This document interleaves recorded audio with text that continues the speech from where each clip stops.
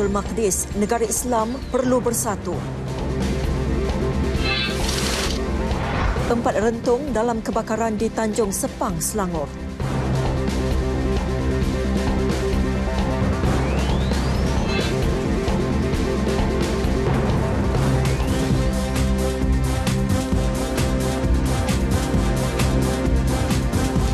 Salam Satu Malaysia N5 siaran Rabu 13 Disember 2017 bersama saya Nur Lela Muhammad Nur. Selain tajuk utama itu tadi seperti biasa, lintas langsung negeri-negeri hari ini dimulakan dengan laporan dari Selangor bersama Daski Syah Iwas, kemudian ke Sabah bersama Hendra Rais. Selepas itu kita bersama Nursila Talaha di studio RTM Kuching. Tidak ketinggalan kita juga akan ke negeri Perak bersama Muhammad Nazri Muhammad Nishara. Jangan ke mana-mana, terus setia bersama N5.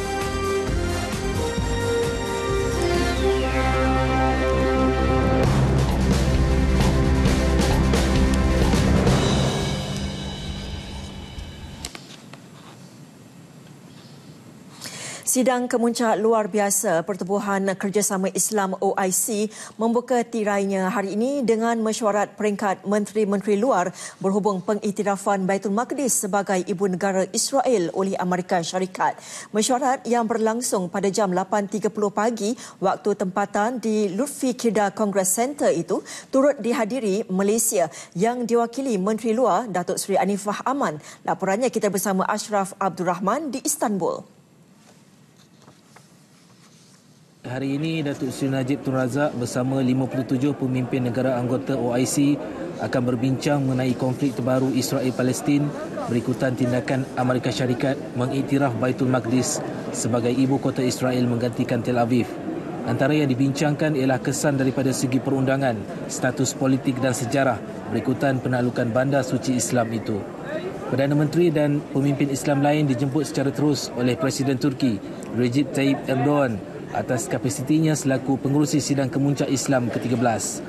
Sidang luar biasa itu akan dirasmikan Presiden Turki selaku pengurusi sidang kemuncak Islam. Turut menyampaikan ucapan Presiden Palestin Mahmud Abbas dan Raja Abdullah II Jordan. Pada sesi penutup, Perdana Menteri Datuk Seri Muhammad Najib Tun Razak akan dijadual membuat kenyataan rasmi kerajaan berhubung. Pada sesi penutup, Perdana Menteri Datuk Seri Muhammad Najib Tun Razak akan dijadual membuat kenyataan rasmi kerajaan berhubung isu berkenaan pada jam 11.50 pagi waktu tempatan. Mesyuarat kemudiannya akan disusuli penerimaan draft penyataan rasmi sidang kemuncak luar biasa OIC dan seterusnya pengisytiharan deklarasi Istanbul. Sidang kemuncak luar biasa ini amat penting bagi menyuarakan bantahan terhadap tindakan Amerika Syarikat yang tidak sensitif dengan umat Islam secara umumnya. Pelibatan Malaysia di dalam sidang kemuncak itu mengukuhkan lagi komitmen dan sokongan tidak berbelah bagi kepada rakyat Palestin dalam memperjuangkan hak mereka untuk sebuah negara Palestin. Ia sekaligus menunjukkan solidariti dan kesatuan negara-negara Islam terhadap tindakan Presiden Amerika Syarikat itu. Aman Ashraf Rahman untuk Berita RTM. Di Ibu Negara, Majlis Profesor Negara MPN menegaskan negara-negara Islam perlu bersatu dalam menyuarakan bantahan terhadap pengiktirafan Baitul Maqdis sebagai Ibu Negara Israel oleh Amerika Syarikat. Ahli Jawatan Kuasa Kluster Politik, Keselamatan dan Hal Ehwal Antarabangsa MPN, Profesor Dr. Kamarul Nizam Abdullah menegaskan tambah menduka citakan ketika ini negara Islam sudah terbahagi dua iaitu negara Islam Arab dan bukan Arab. Menurut Profesor Dr. Kamarul Nizam, perpecahan negara Islam tersebut menyebabkan wujudnya persepsi dan pendekatan politik yang berbeza setiap negara dalam isu Palestin. Bagi pihak MPN merasakan bahawa dunia Islam patut bersatu. Uh, tidak kira sama ada daripada dunia Islam Arab ataupun dunia Islam bukan Arab. Harus bersatu uh, untuk menentang sebarang tindakan yang boleh menyebabkan uh, masyarakat antarabangsa seolah-olah mengiktiraf Baitul Maqdis uh, sebagai uh, ibu negeri Israel. Profesor Dr. Kamarul Nizam bercakap dalam sidang media MPN di Putrajaya. Tambahnya sebelum ini proses damai di antara Palestin dan Israel dilihat sudah mencapai peningkatan yang baik. Namun pengiktirafan terbaru Amerika Syarikat itu jelas mengganggu proses damai tersebut. Dalam pada itu negara anggota Pertubuhan Kerjasama Islam OIC juga perlu bersatu dan mengenepikan sebarang perbezaan politik yang ada. Mereka perlu memainkan peranan lebih aktif dalam menyuarakan bantahan di pentas antarabangsa. Ia termasuk usaha memboikot dengan menggantung hubungan diplomatik dengan Israel. Sidang media turut dihadiri Presiden merangkap Ketua Pegawai Eksekutif MPN Profesor Datuk Dr. Radwan Cik Ros dan ahli bersekutu MPN Dr. Aminur Rashid Yatiban. Suruhanjaya Pilihan Raya SPR memutuskan tiada pilihan raya kecil PRK akan dijalankan bagi kerusi Parlimen P126 Jelebu Negeri Sembilan. Kerusi Parlimen itu kosong selepas penyandangnya Datuk Zainuddin bin Ismail meninggal dunia 6 Disember lalu. Dalam satu kenyataan media, pengerusi Suruhanjaya Pilihan Raya SPR Tan Sri Muhammad Hashim Abdullah berkata, ini memandangkan waktu terdapatnya kekosongan luar jangka itu berlaku telah melepasi tempoh kurang daripada pada dua tahun sebelum Parlimen dibubar. Menurut Tan Sri Muhammad Hashim, beliau telah menerima surat pemakluman rasmi mengenai kekosongan kerusi tersebut daripada Yang Dipertua Dewan Rakyat Tan Sri Pandika Amin Mulia pada 12 Disember lepas. Beliau menjelaskan mengikut perkara 54 kurungan 1 Perlembagaan Persekutuan jika terdapat kekosongan luar jangka yang dipastikan dalam tempoh dua tahun sebelum mandat yang diberikan kepada Kerajaan Persekutuan akan terbubar maka kekosongan luar jangka itu tidak boleh diisi melainkan Speaker Dewan Rakyat menyatakan keperluan untuk berbuat demikian. Zainuddin 58 tahun meninggal dunia akibat komplikasi ketumbuhan pada otak. Baiklah saudara untuk lintas langsung ke Selangor hari ini kita bersama Daski Syah Iwas. Silakan Daski. Terima kasih Leila dekat Sepuluh Kuala Lumpur. Assalamualaikum dan salam satu Malaysia. Sultan Selangor, Sultan Syarafuddin Idris Shah menitahkan supaya imam-imam dan pegawai-pegawai agama di Selangor sentiasa memantau kegiatan ekstremis agar tidak berlaku dan bertapak di negeri ini. Baginda turut menyeru agar sentiasa mempertahankan kesucian serta ajaran agama Islam dan memastikan tiada dalam kalangan mereka terlibat dengan fahaman ekstremis maupun liberalism. Untuk tujuan itu, juga saya menyeru semua imam-imam dan pegawai-pegawai masjid untuk memastikan berceramah dan ustaz-ustaz yang memberi ceramah di masjid-masjid dan surau dalam negeri selama ini mendapat tauliah sewajar yang sewajarnya sebelum dibenarkan mereka untuk berceramah. Baginda bertitah ceramah mereka perlu dipantau agar tidak menyeleweng dari ajaran Islam sebenar dan mengelirukan masyarakat Islam. Katanya masih terdapat segelintir imam-imam dan nazim masjid yang engkar dan tidak mematuhi arahan. Sultan Syarafuddin menghadiri Majlis Istiadat Pengurniaan Watika Pelantikan anggota MAIS bagi sesi 2018 hingga 2020 dan Majlis Santapan Tengah Hari bersama 423 imam masjid seluruh negeri Selangor di Istana Alam Shah, Kelang.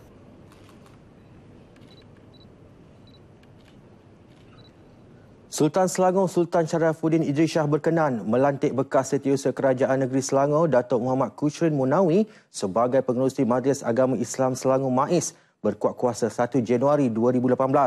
Pelantikan itu bagi menggantikan Datuk Muhammad Azib Muhammad Isa yang tamat tempoh perkhidmatan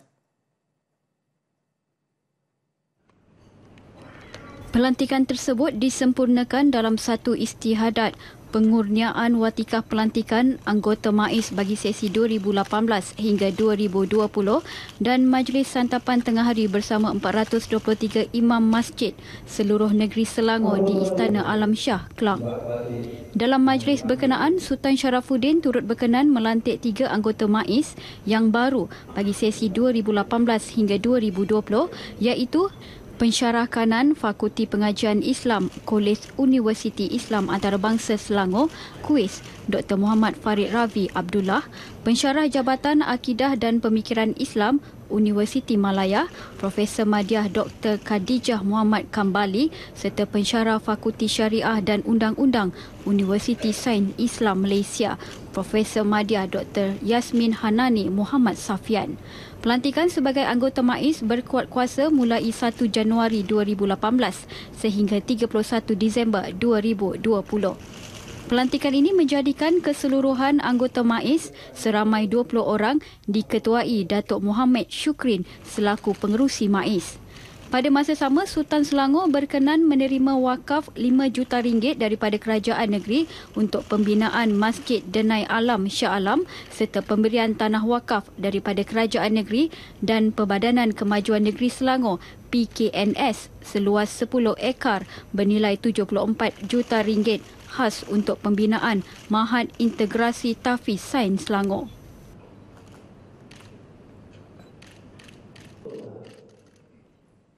Seramai 100 peserta mengambil bahagian dalam kayuhan amal Stay Alkitab bersama anak yatim di Baranang Hulu Langat.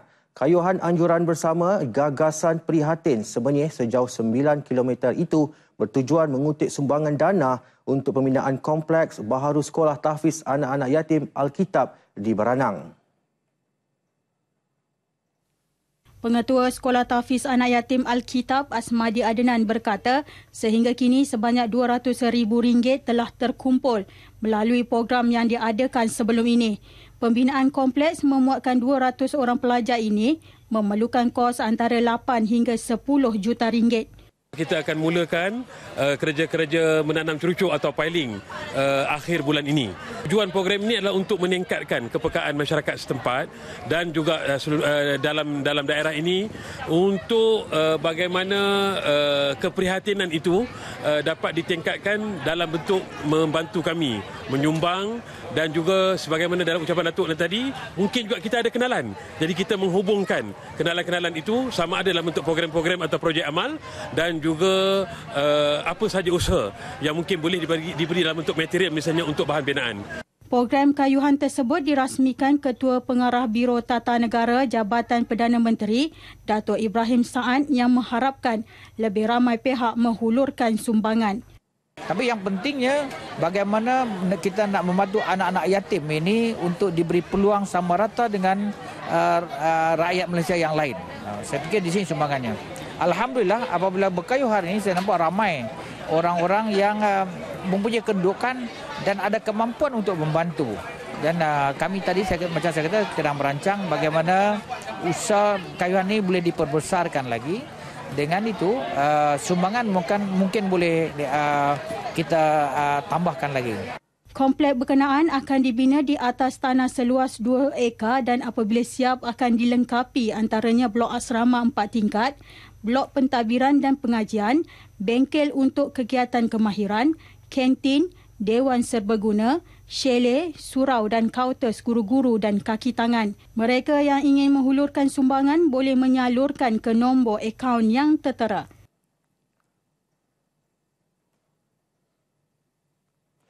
Sekian sumbangan berita dari RTM Selangor. Kembali bersama Lela di Angkasa Puri. Silakan Lela. Baik, terima kasih Daski. Hadapi 146 pertuduhan, bekas timbalan pengarah Jabatan Air Negeri Sabah mengaku tidak bersalah. Untuk laporannya kita ke laporan negeri dari Sabah bersama rakan di sana. Silakan. Terima kasih Norlela di Angkasa Puri. Assalamualaikum dan salam satu Malaysia. Bekas Timbalan Pengarah Jabatan Air Negeri Sabah JANS Teo Chi Kong mengaku tidak bersalah di Mahkamah Seksyen Hasrasuah Kota Kinabalu pagi tadi terhadap 146 pertuduhan melibatkan aktiviti pengubahan wang haram melalui penerimaan wang rasuah projek-projek infrastruktur di Sabah yang disiasat Suruhanjaya Pencegahan Rasuah Malaysia SPRM tahun lepas.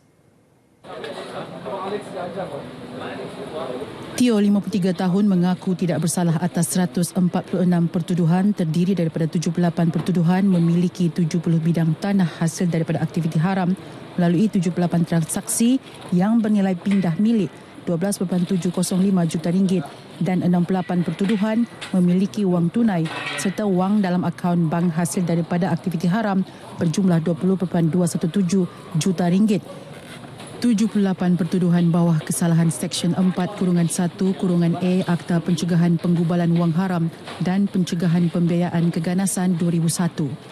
Manakala 68 pertuduhan bawah kesalahan Seksyen 4 kurungan 1 kurungan B Akta Pencegahan Penggubalan Wang Haram dan Pencegahan Pembiayaan Keganasan dan hasil daripada aktiviti haram 2001. Hakim Nixon Kennedy Kumbong menetapkan ikat jamin 1.5 juta ringgit dengan deposit RM500,000 dengan dua penjamin tempatan. Tertuduh juga diarah menyerahkan dokumen perjalanan kepada mahkamah. Hakim Nixon turut menetapkan 16 Januari 2018 sebagai tarikh pengurusan kes berkenaan. Terdahulu pendakwaan dikendalikan Timbalan Pendakwa Raya Tengku Amir Zaki dan Muhammad Hafiz Rahman manakala Tio diwakili dua peguam Ronald Cheng dan Hamid Ismail. Pada Oktober tahun lepas, SPRM melalui Opwater menahan beberapa suspek dan merampas wang tunai lebih 50 juta ringgit, barangan kemas, geran tanah dan barangan mewah yang dipercayai hasil menyalahguna kuasa dan memonopoli pemberian projek pembangunan infrastruktur di Sabah.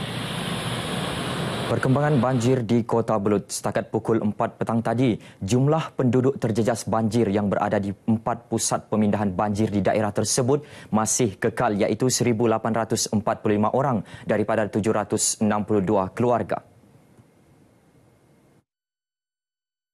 Menurut Pegawai Daerah Kota Belud, Haji Abdul Ghari Hitam, daripada jumlah itu, 252 keluarga ditempatkan di Dewan Masyarakat Tun Said manakala 268 keluarga ditempatkan di Dewan Sekolah Menengah Kebangsaan SMK Tahun Gusi 2. Selebihnya 78 keluarga di Sekolah Kebangsaan SK Pekan dan 164 keluarga ditempatkan di Pusat Pemindahan SMK Agama Tun Said. Ketika dihubungi pemberita RTM di Kota Kinabalu, Haji Abdul Ghari berkata, jumlah kampung terjejas banjir juga kekal, 26 buah kampung.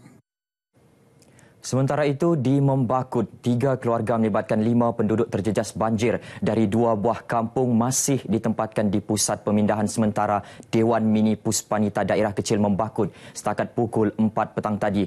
Ia melibatkan sebuah keluarga dari kampung Dungau dan dua keluarga dari kampung Kayai.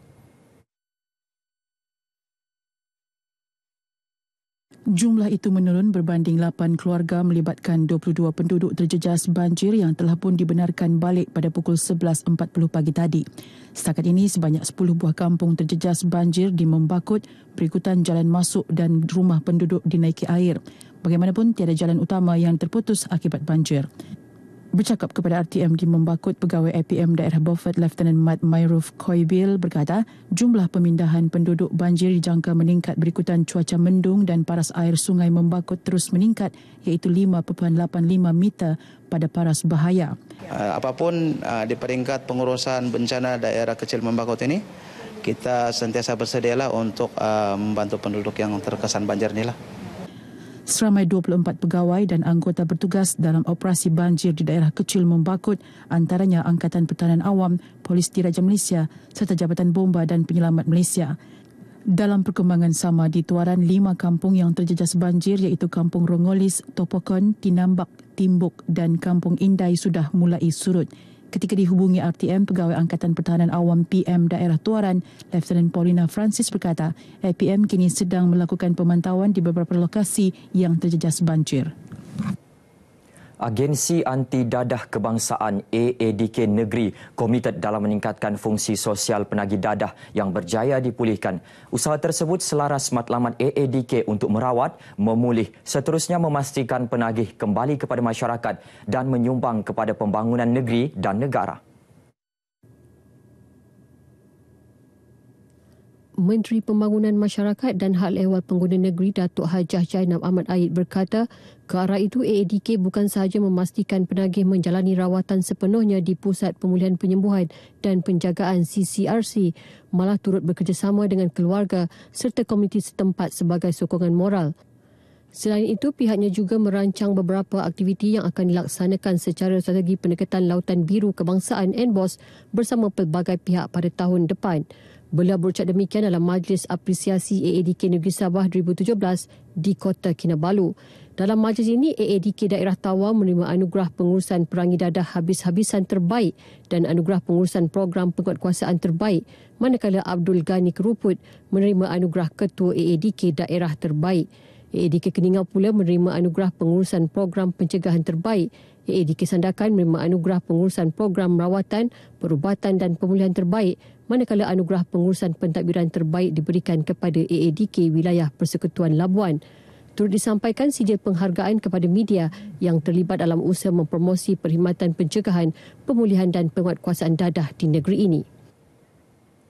Lebih 400 penyertaan dijangka diterima dalam pertandingan sayembara puisi Islam peringkat ASEAN ketiga yang diadakan sempena Maharajan Persuratan dan Kesenian Islam kali ketujuh tahun depan. Pembantu Menteri kepada Ketua Menteri Datuk Haji Muhammad Arifin Haji Muhammad Arif berkata jumlah peserta sayembara anjuran bersama Jabatan Hal Ehwal Agama Islam Negeri Jahins, Badan Bahasa dan Sastra Sabah Bahasa serta Dewan Bahasa dan Pustaka DBP Sabah itu lebih tinggi berbanding kira-kira 300 penyertaan tahun lalu. Beliau berkata demikian semasa berucap merasmikan sayembara puisi Islam peringkat ASEAN 2017 di Wisma Muis Kota Kinabalu. Datuk Haji Muhammad Arifin berkata memandangkan sayembara puisi Islam Nusantara itu disertai penulis terkenal, maka kualiti hasil karya dipersembahkan semakin meningkat saban tahun. Katanya semua hasil karya berkenaan akan dibukukan Jahins sebelum ditempatkan di Perpustakaan Islam Sabah sebagai khazanah negeri. Selain pertandingan menulis puisi Islam, turut diadakan sempena Mahrajan Persuratan dan Kesenian Islam Nusantara itu ialah pertandingan kaligrafi Islam. Beliau berharap Sabah akan menjadi dataran dan persuratan kesenian Islam Nusantara seperti yang diimpikan selain program Mahrajan itu menjadi antara daya penarik kepada pelancongan ilmu dan sastra sastra. Sekian berita dari Sabah petang ini teruskan dengan Norlela di Agasa Puri. Silakan Norlela.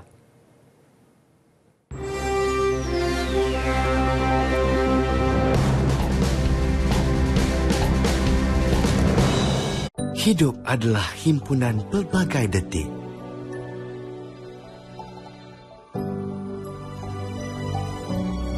Detik yang membentuk siapa diri kita.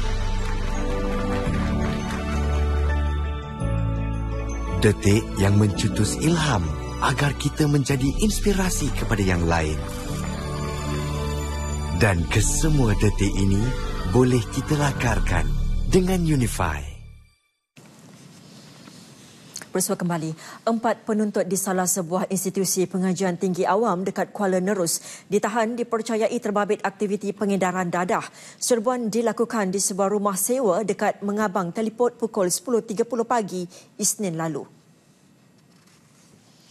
Menurut Ketua Polis Kuala Terengganu ACP Idris Abdul Rafar, hampir satu kilogram dadah jenis ganja dan ekstasi bernilai lebih RM3,000 dirampas selain wang tunai RM400. Turut disita kenderaan dipercayai digunakan untuk pengedaran dan penjualan dadah di sekitar Kuala Nerus semasa serbuan bekalan dadah milik perancang utama itu disorok dalam sebuah bilik. Kesemua bekalan dadah yang diperolehi dari negara jiran itu dipek, dikumpul dan diedar di rumah sewa tersebut. Suspek mula bergiat aktif September lalu.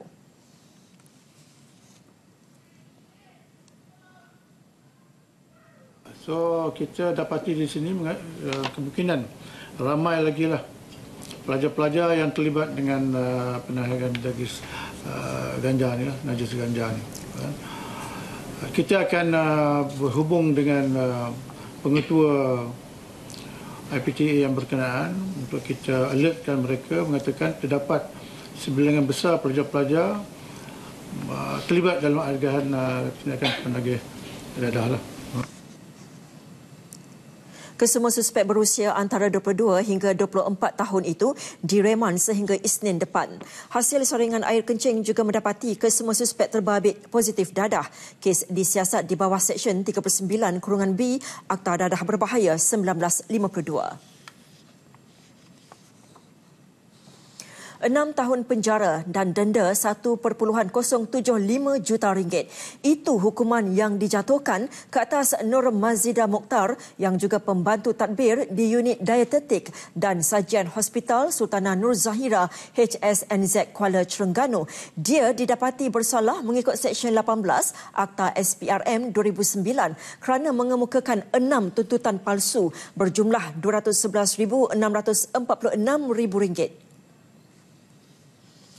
Mengikut pertuduhan, Nur Mazida membuat empat tuduhan palsu bagi mem- membuat empat tuntutan palsu bagi pembekalan telur bernilai RM113,066 atas nama syarikat KAB Adil Resources milik suaminya Muhammad Fikri Izani. Dia juga membuat dua lagi tuntutan palsu berjumlah RM98,580 bagi kerja-kerja membekal dan menghantar bekalan susu sedangkan syarikat pembekal asal yang mempunyai perjanjian dengan hospital.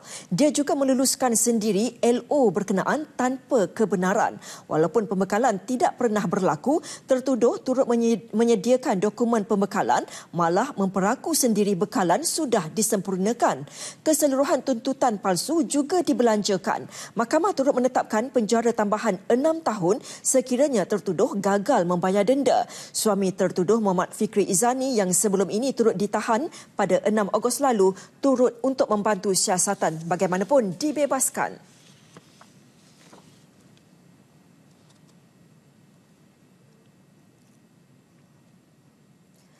Dalam kes berasingan, seorang tekong warga Vietnam dijatuhi hukuman penjara enam bulan selepas mengaku bersalah memberi suapan kepada seorang pegawai APMM.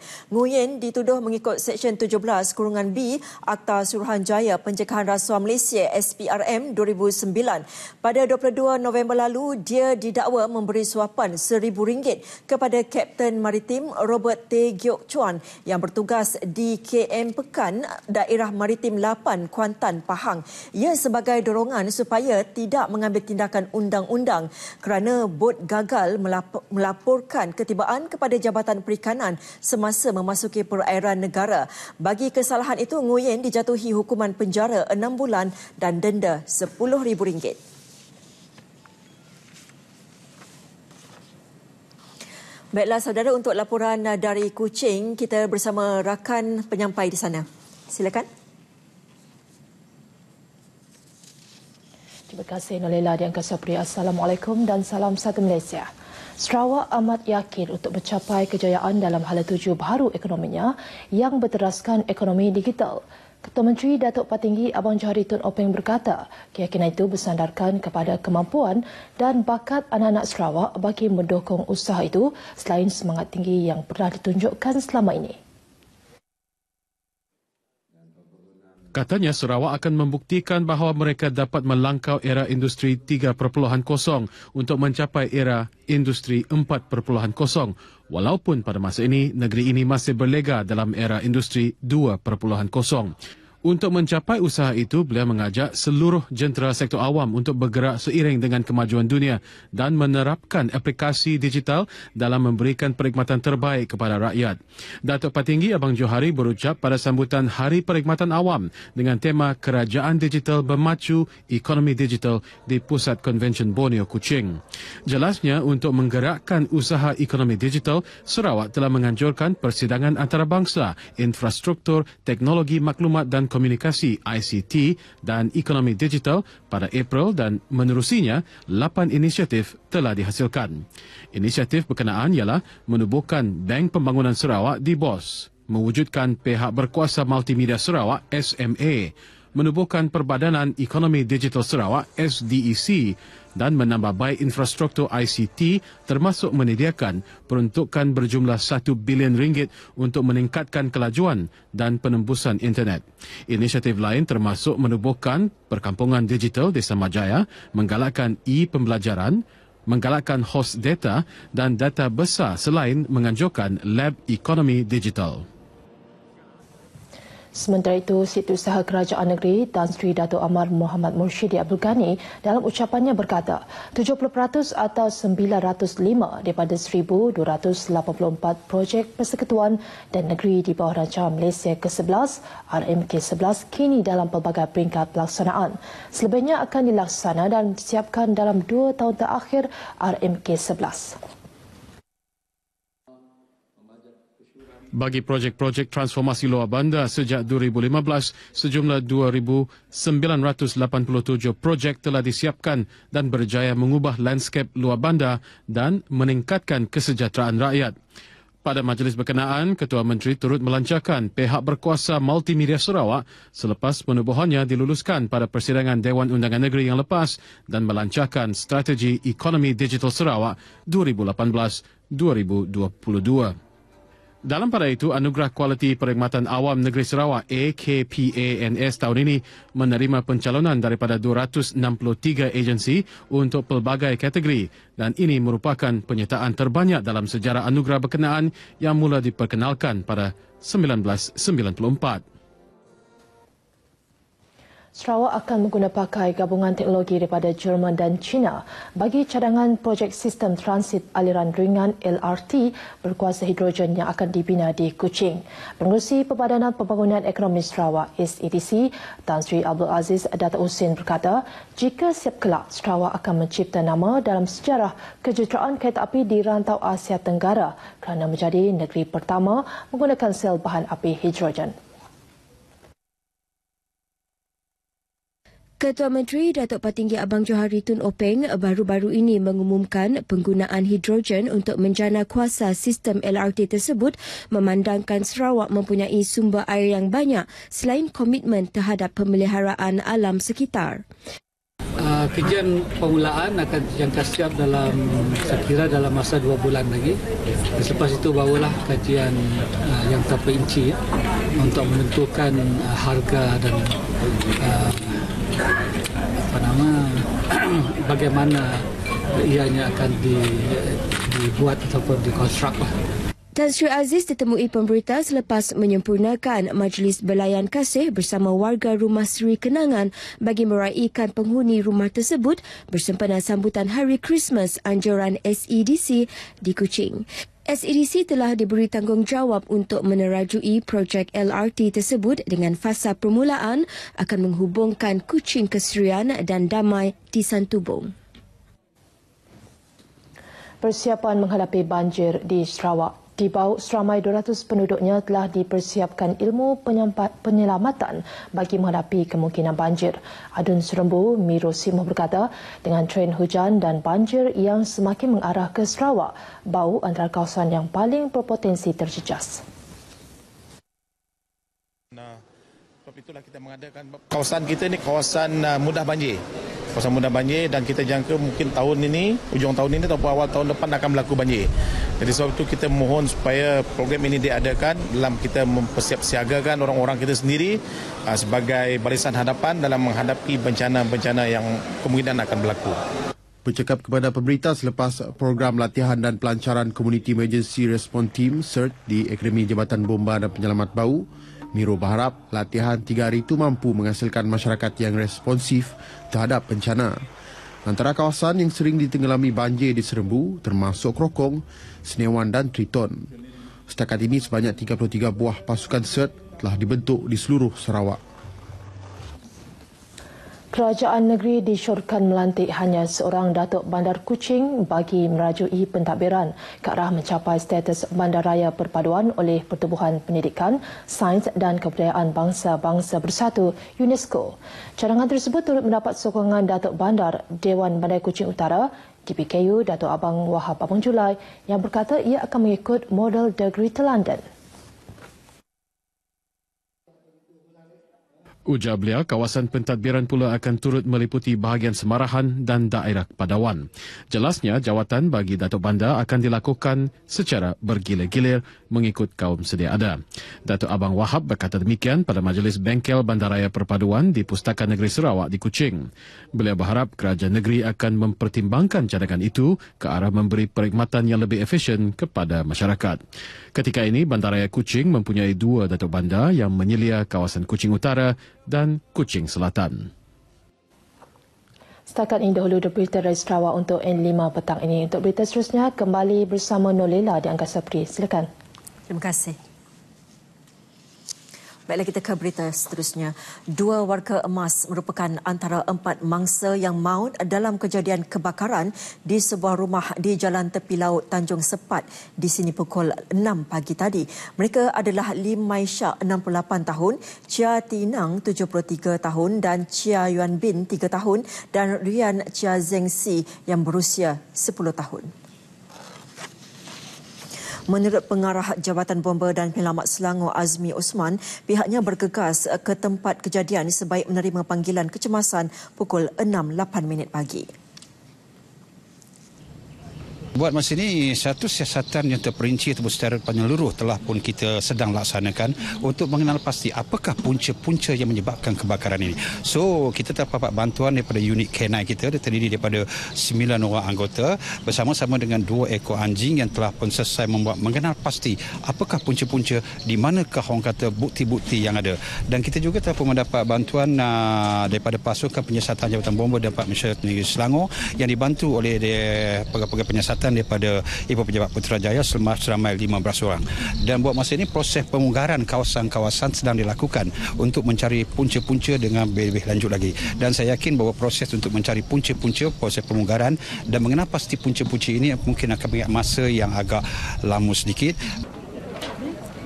Berdasarkan siasatan awal, kesemua mangsa berjaya dikeluarkan. Sejurus api dipadamkan anggota bomba sepenuhnya sekitar pukul 7 pagi. Mangsa pertama ditemui sekitar pukul 6.43 pagi, kedua pada 6.47 pagi, manakala mangsa ketiga dan keempat ditemui pada pukul 6.58 pagi. Kesemua mangsa diserah kepada pihak PDRM dan dibawa ke Hospital Banting untuk proses bedah siasat dijalankan. Dalam pada itu, saksi kejadian yang tiba kira-kira pukul 5.30 pagi di rumah kayu setingkat itu mendapati keadaan rumah tersebut sudah peruntuh dan terbakar sepenuhnya. Ya lebih kurang lima setengah saya terima panggilan daripada anggota saya lah. Kata ada kebakaran uh, dekat jalan tepi laut. Jadi saya pun keluar sebab rumah saya mendekat. Saya keluar, eh betul-betul api. Api suara besar lah, merebak.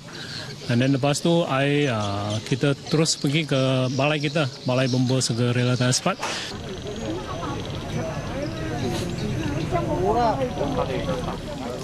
Dalam kenyataan terbaru polis, kematian dua warga emas dan dua cucunya yang berusia tiga dan sembilan tahun bukan berpunca daripada kebakaran. Sebaliknya mereka disyaki dibunuh terlebih dahulu sebelum rumah didiami keluarga itu dibakar. Kejadian sadis tersebut disahkan Ketua Jabatan Siasatan Jenayah Selangor, Senior Assistant Commissioner Fazil Ahmad yang kami hubungi sebentar tadi. Okay, saya merasakan memang ada empat uh, mayat yang dijumpai uh, dalam kebakaran tersebut. Dan um, hasil daripada siasatan awal pihak bomba mendapati ada unsur-unsur kianat uh, dalam kebakaran ini. Dan uh, hasil daripada pemeriksaan uh, pasukan siasatan tempat kejadian uh, polis Selangor iaitu tiga yang dikesan berlaku ke atas uh, badan-badan uh, mayat yang kita jumpa dalam rumah tu dari itu kita telah klasifikasikan kes ini di bawah seksyen 302 uh, Kanun Kesihatan. Uh, kita masih lagi menjalankan uh, proses siasatan. Yang pertamanya kita nak menentukan punca kematian dan kita akan dapatkan keputusan ini selepas kita mendapat laporan postmortem dari pihak hospital. Dan seterusnya dengan berpandukan keterangan tempat kejadian dan keterangan saksi kita akan Uh, menjalankan siasatan ini bagi mengesan uh, suspek-suspek yang terlibat. Kita menyeru orang ramai yang ada uh, maklumat berkenaan dengan, berkenaan dengan kejadian ini untuk tampil uh, membantu pihak polis bagi menjalankan siasatan.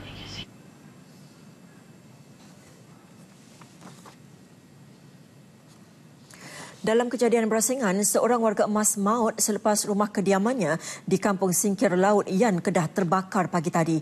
Jabatan Bomba dan Penyelamat Negeri dalam kenyataannya berkata kejadian berlaku kira-kira pukul 11.30 pagi.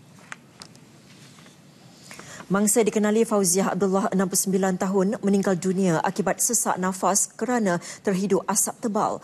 Dua jentera bomba bersama 28 anggota dari Balai Bomba dan Penyelamat BBP Yan dan BBP Guar Cempedak bergegas ke tempat kejadian sebaik dihubungi. Tindakan pantas bomba berjaya memadam dan mengawal kebakaran daripada merebak. Mayat mangsa diserahkan kepada polis dan dihantar ke Hospital Yan untuk bedah siasat.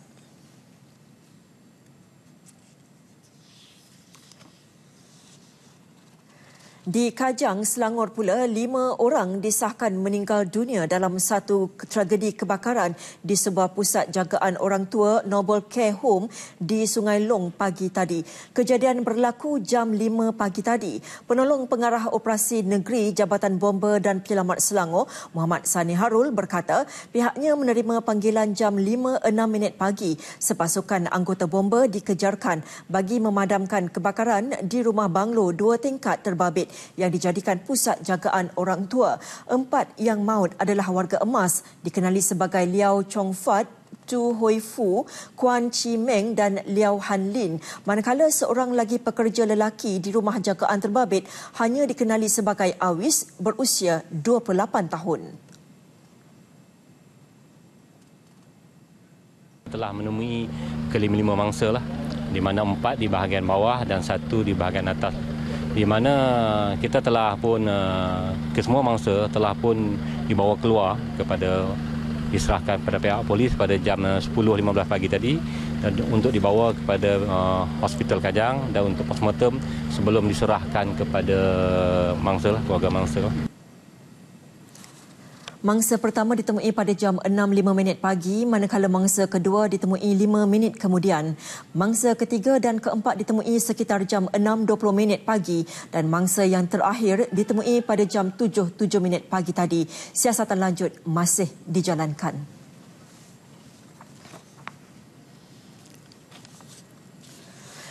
Jenazah lima sekeluarga yang maut dalam nahas di kilometer 176 Johor Baru Seremban, Segamat Johor semalam selamat dikebumikan kira-kira pukul 2.35 petang di Tanah Perkuburan Islam Haji Manan Keluang. Allahyarham Muhammad Abu Dujanah Zulkarnain 30 tahun dan isteri Zinirah Abdul Hamid 28 tahun serta tiga lagi anak mereka Nur Magifa 6 tahun, Muhammad Abu Ajwad 4 tahun dan Nur Alia Humairah berusia 3 bulan dikebumikan di satu liang lahat. Kelima-lima jenazah dibawa dari Hospital Segamat pagi tadi selepas selesai bedah siasat sebelum dibawa ke rumah keluarga mereka di Kampung Mengkibul untuk disembahyangkan. Jenazah kemudiannya dibawa ke tanah perkuburan untuk dikebumikan. Menurut bapa kepada Allahyarham Muhammad Abu Dujana, Zulkarnain Yusof 55 tahun, beliau dan keluarga mengetahui berita pemergian anak kedua daripada 11 beradik itu dari laman sosial Facebook petang semalam.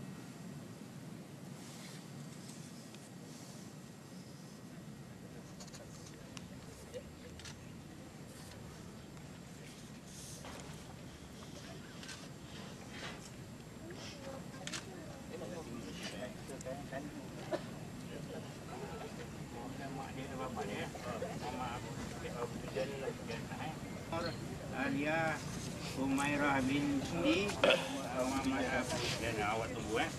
Al-Fatihah. Sebelum ini, petani di jajahan Ketereh dan Bacok dilapor kerugian apabila sawah padi mereka musnah dilanda banjir baru-baru ini. Situasi sama turut membelenggu petani di Tumpat. Lebih 200 hektar sawah padi di beberapa kampung rosak apabila padi yang sedang menunggu masa untuk dituai musnah digenangi banjir termenung. Wartawan Majidah Ismail meninjau masalah petani terlibat. Tinjauan RTM mendapati di kampung Bendang Pak Yong ini hampir 100 hektar padi tidak sempat dituai berikutan air dari Sungai Golok melimpah dengan cepat ke kawasan Bendang. Petani yang hilang punca pendapatan tertekan kerana perlu membuat persiapan menghadapi sesi persekolahan anak-anak mereka. Padi hak hak tergelar air lebih pada uh, apa 20 hektar lah, lebih kurang 20 hektar. Kali ambil langsung. Macam ni. Hmm. Lepas tu kitanya pendapatan atas ni lah. Ha, kerja ni ya. tak ada kerja lain dah. Kalau boleh dipercepatkan proses dia. Nak bina jambatan kau, nak bina buat lubang-lubang kau supaya air ni tidak terlalu lama duduk dalam kawasan kita ni. Ha, sebab sebelum ni, sebelum jalan ni siap, tiga hari lah dia kering habis dah. Mana kalau tiga hari tu padi tak tak rosak. Kajian lagi tu tolong jengok lah tek. Tengok rakyat susah ke gapo sini ni. Lama dah rakyat duduk, duduk tunggu ni. Telah apa? Lama, lama, lama, lama. Kau tak percaya tunggu lah masa banjir macam tengok rakyat lagu mana. Menurut Adun Pengkalan Kubur, Mat Razi Mat Ail, gelombang pertama banjir dua minggu lepas turut menjejaskan bendang di Kampung Kajang Sebidang, Kampung Kubang Sawa dan Kampung Simpangan. Beliau menyarankan pihak yang berwajib menilai kerugian penduduk sekaligus menyediakan insentif bagi meringankan beban mereka. Buat kajian supaya bagaimana air ini boleh cepat keluar daripada bendang ke sungai. Sama ada kaedah tembatan atau kaedah kalvert dan sebagainya ikutlah. Yang mana kita ni tak nak air termenung di kawasan bendang padi. Januari lalu, Perdana Menteri Datuk Seri Najib Tun Razak mengumumkan peruntukan 10 juta ringgit bagi membina jambatan di Jalan Kasban bagi membolehkan saliran mengalirkan air banjir dari kawasan pengkalan kubur ke Sungai Golok dibina.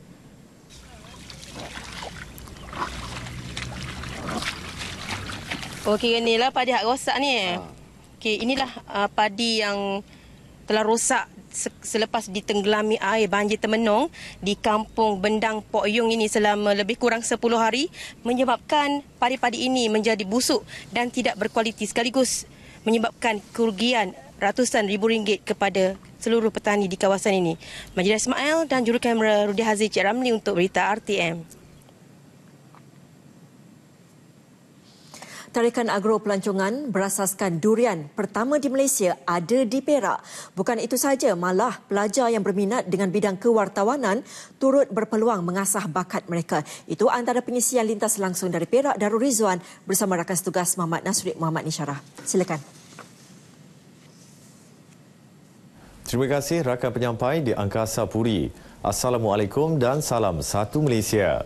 Seramai 284 petani dalam Parlimen Pasir Salak menerima insentif di bawah Projek Bidang Ekonomi Utama Negara NKEA berjumlah 1.4 juta ringgit.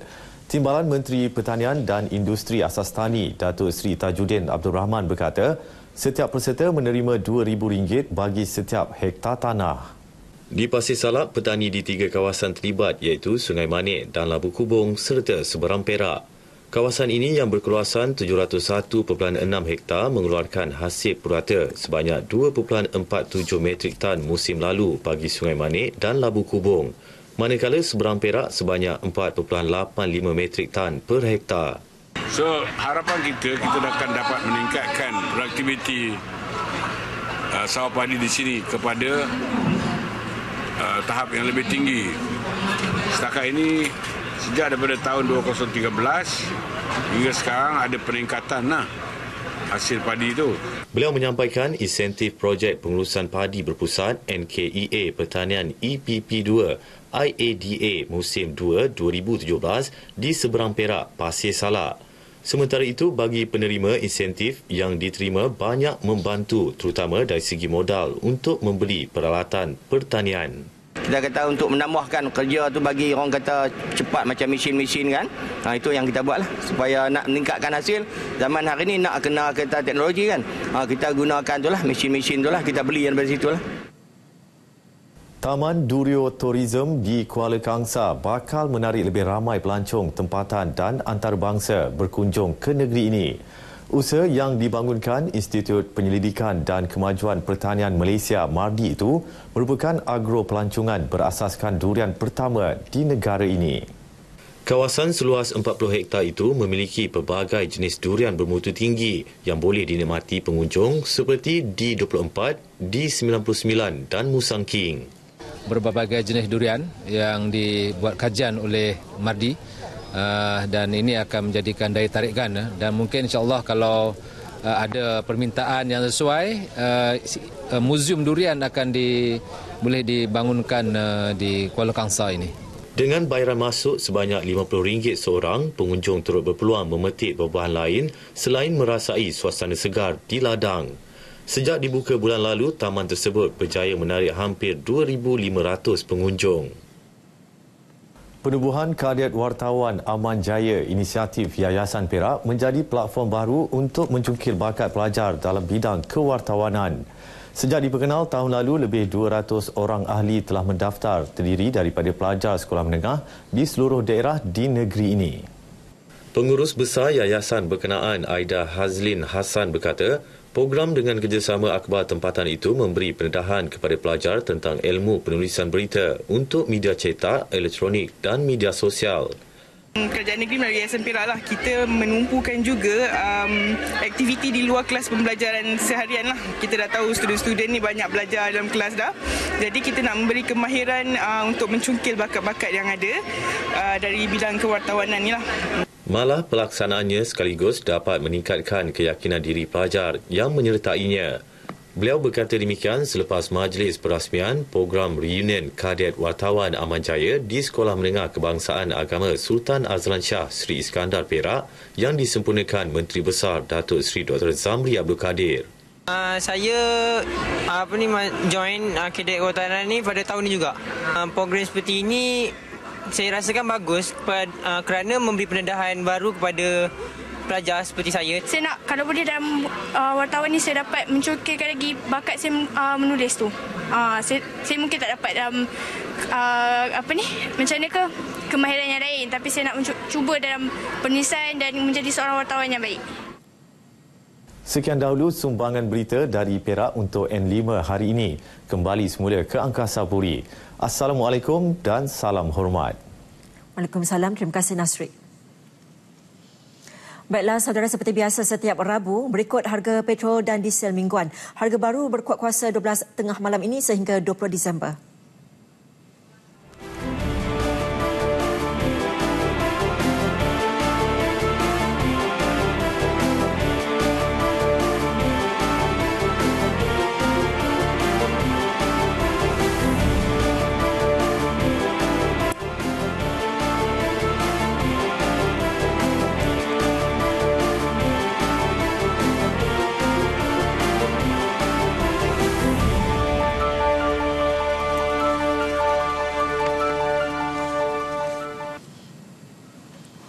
Projek menambah baik Masjid Diraja Sultan Sulaiman di Jalan Kota Raja, Kampung Jawa, Kelang siap sepenuhnya 17 Oktober lalu dan kini masjid itu telah beroperasi semula setelah dua tahun ditutup. Projek pemuliharaan yang bermula sejak 2015 itu bertujuan mengekalkan keunikan reka bentuk dan seni bina masjid. Wartawan Samsia Samsi meninjau keunikan masjid itu selepas projek konservasinya selesai.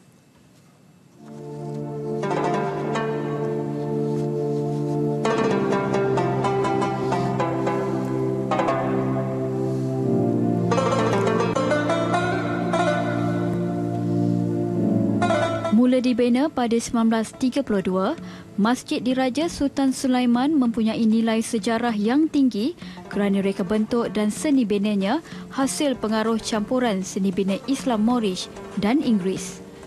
Pada mulanya, masjid ini dihiasi lukisan moral dengan warna-warna terang seperti merah dan kuning yang melambangkan warna rasmi Selangor. Namun ketika proses pemuliharaan pada 1970-an, lukisan moralnya ditutup dengan salutan cat putih. Semasa projek konservasi tahun lepas, beberapa proses penambahbaikan dilakukan antaranya mencuci permukaan moral, rawatan pengukuhan moral dan mengecat beberapa bahagian masjid. Kurator Bahagian Koleksi dan Konservasi Balai Seni Visual Negara Musrizal Mat Isa berkata, hasilnya 70 lukisan mural yang diukir ditemui semula. Jadi sampel itu dihantar ke makmal untuk dikenal pasti apakah jenis warna ataupun pigmen yang digunakan. Dan lanjutan daripada keputusan analisa berkenaan, kita membuat keputusan kita menggunakan warna yang sama, bahan yang sama bagi mengekalkan uh, sejarah dan nilai estetik Bertemakan pemandangan tumbuhan, bukit bakau, sungai dan laut di daerah Kelang, lukisan mural ini unik dan penting bagi mengekalkan keaslian seni bina asal sewaktu zaman Sultan Alauddin Sulaiman Shah. Dulu kita tak melihat yang mana yang di sudut-sudut yang tersembunyi dan sekarang ni adalah ke kelainan yang orang luar ingin mengetahui lah kan dan jadi adalah dia punya kelainan yang seperti cat-cat yang mana kita tak nampak dulu kan sekarang dah ada lah Masjid yang terletak bersebelahan dengan Istana Alam Shah ini telah diistihar sebagai warisan kebangsaan pada 2012. Masjid Diraja Sultan Sulaiman bukan saja menjadi nadi dan perlambangan keagungan agama Islam, malah menjadi khazanah warisan negara yang perlu dikekalkan. Samsia Samsi untuk RTM.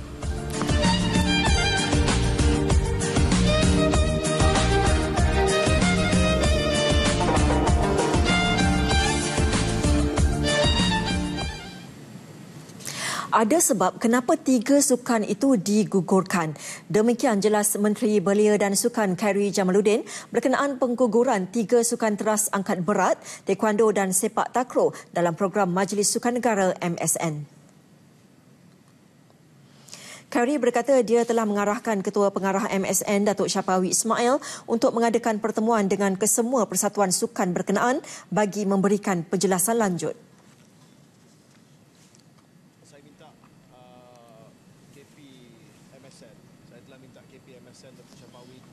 Persatuan-persatuan sukan tersebut untuk menjelaskan uh, sepenuhnya apakah sebab-sebab pengguguran mereka daripada sukan teras uh, dan uh, saya serah kepada KP lah untuk adakan perbincangan saya tak nak mendahului uh, apa saja sebarang rayuan yang mungkin akan uh, saya terima. Uh, cuma langkah yang pertama adalah untuk Datuk Syapawi bila dia balik daripada Jakarta nanti dia akan jumpa dengan Uh, Persatuan Sukan uh, Takro, Taekwondo dan juga angkat berat untuk menjelaskan apakah sebab-sebab ya sebab saya tengok saya baca uh, kenyataan-kenyataan daripada Persatuan Sukan tersebut. Mereka kata bahawa uh, ini keputusan yang tidak mencerminkan uh, uh pandangan mereka, prestasi mereka dan sebagainya. We have our reasons Ditanya sama ada ketiga-tiga sukan tersebut akan dipertimbangkan untuk dimasukkan semula, jelas Khairi, semuanya akan diputuskan selepas perbincangan Datuk Syapawi dengan persatuan-persatuan terbabit. Semalam, Khairi mengumumkan sukan angkat berat, sepak takraw dan taekwondo digugurkan daripada sukan teras negara berikutan prestasi buruk serta tidak menunjukkan sebarang peningkatan. Ketiga-tiga sukan tersebut juga tidak akan dipertandingkan di Sukan Malaysia Sukma Perak tahun depan.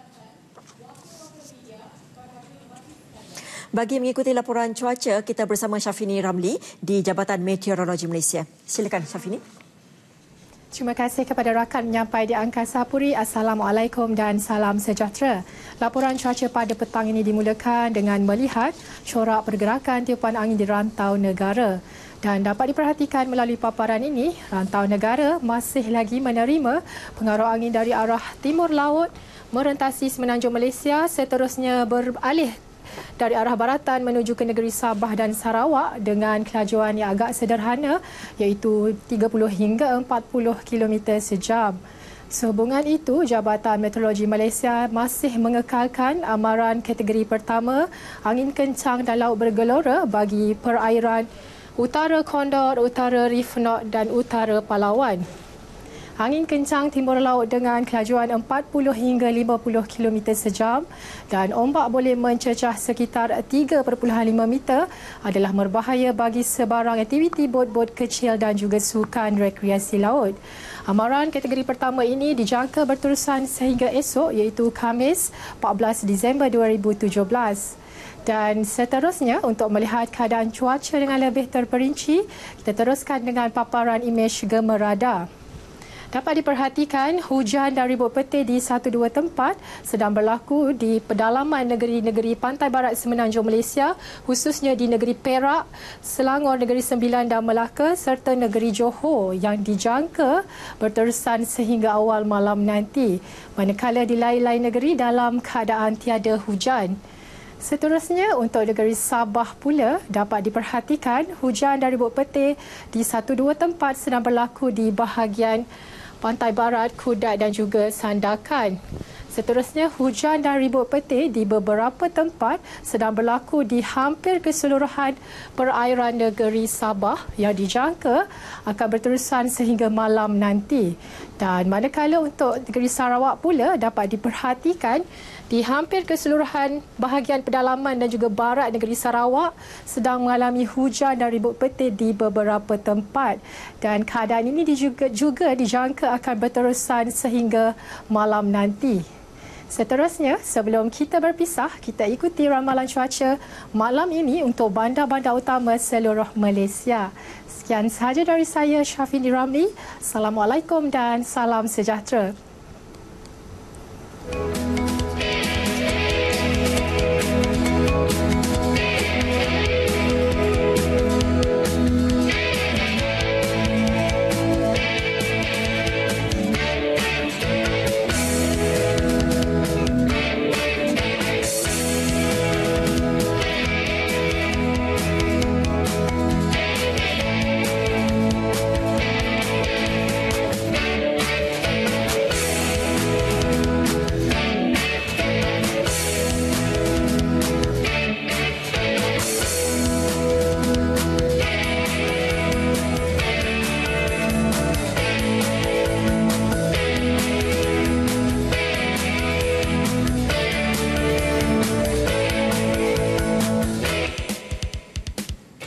Laporan cuaca itu tadi mengakhiri N5 untuk hari ini. Saya Norlela Muhammad Nur. Salam hormat dan jumpa lagi.